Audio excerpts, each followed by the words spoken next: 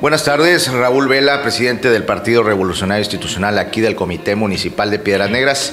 Por este medio quiero eh, felicitar a Contrapunto Noticias, a Periódico en Línea y sobre todo a mi amigo Leocardio Hernández Hernández por este segundo aniversario de este, de este periódico virtual, este Contrapunto Noticias y que mantiene informado a toda la región norte Acuña, Cinco Manantiales y por supuesto Piedras Negras. Yo quiero de manera muy muy personal eh, mandar esta felicitación por el segundo aniversario de Contrapunto Noticias.